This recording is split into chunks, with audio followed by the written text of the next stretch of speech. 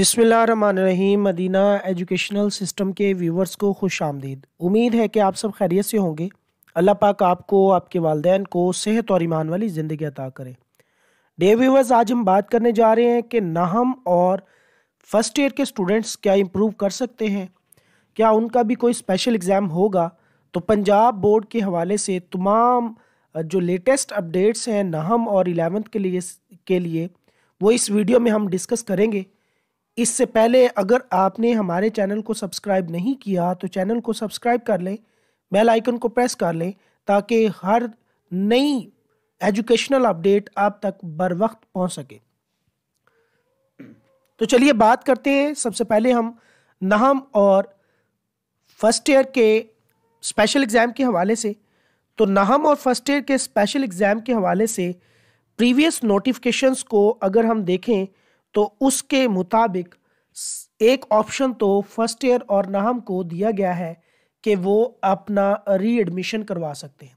तो ये देखिए बोर्ड की वेबसाइट है साइवाल बोर्ड तो यहाँ ऑप्शन आपको मिल रहा है readmission of ninth class registration 2021 और 23 इसका तरीकाकार क्या है कि जितने भी स्टूडेंट हैं जो अपने रिज़ल्ट से मुतमिन नहीं है तो वो अपने रिज़ल्ट को within thirty days result आने के बाद कैंसिल करवा कर अपना री एडमिशन करवा सकते हैं।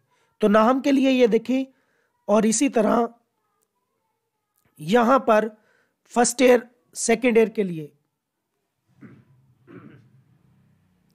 यहाँ ये आपके पास जो है, ये फ़र्स्ट ईयर के लिए है H S S C registration readmission तो यहाँ से आप री एडमिशन करवा सकते हैं। तमाम बोर्ड्स ने री एडमिशन की फैसिलिटी दी हुई है। तो आप तमाम स्टूडेंट जो अपने रिज़ल्ट से मुतमिन नहीं है तो वो री एडमिशन करवा सकते हैं। इसी तरह बाईस मुल्तान में भी री एडमिशन है, ये देखें स्केजुअल 2021 और 23 के लिए री एडमिशन का नाइन्थ का, और सेम जो है, वो री एडमिशन का जो स्केजुअल है, वो फ़र्स्ट ईयर का। तो री एडमिशन एक ऑप्शन है कि आप अपना पुराना रिज़ल्ट कैंसिल करवाएँ और री एडमिशन करवा लें। इससे क्या होगा कि आपका एक साल ज़ाया होगा, यानी अब दोबारा आप फ़र्स्ट ईयर के स्टूडेंट कंसीडर होंगे। आप इससे अपनी कैटेगरी चेंज कर सकते हैं, यानी कि अगर आप पहले मेडिकल पढ़ रहे थे, अब दोबारा आप मेडिकल में भी दाखला ले सकते हैं। और इसके अलावा अगर आप मैथ पढ़ना चाहते हैं या कोई फ़ील्ड चेंज करना चाहते हैं तो वो कर सकते हैं। री एडमिशन में आपका एक साल ज़ाया होगा। दूसरा ऑप्शन क्या है?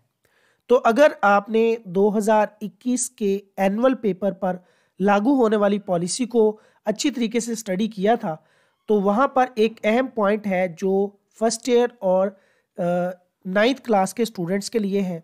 हम उसको भी डिस्कस कर लेते हैं।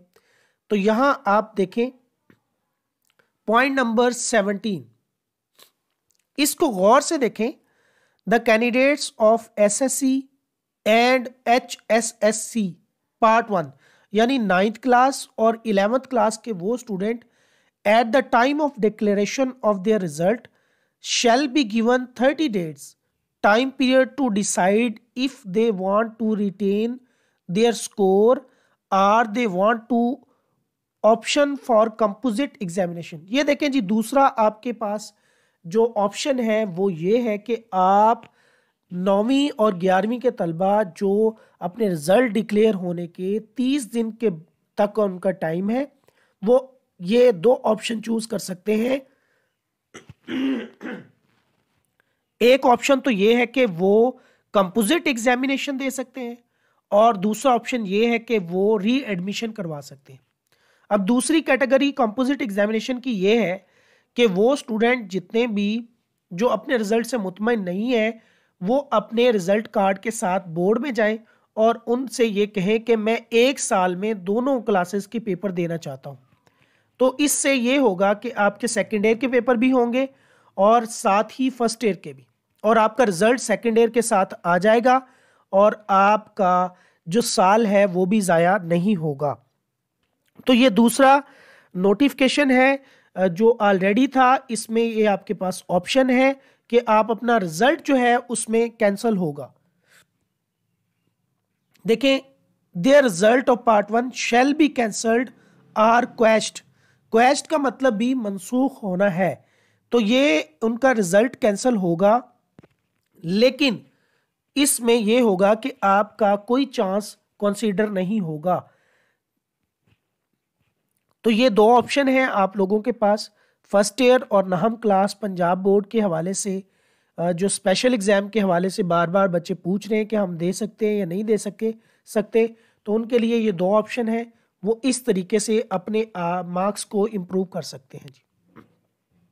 उम्मीद है कि ये वीडियो आपके लिए हेल्पफुल होगी। अल्लाह से दुआ है कि अल्लाह आपको कामयाब करे। आप भी हमें अपनी दुआओं में याद रखेगा। अपना बहुत ज़्यादा ख्याल रखें। अल्लाह हाफ़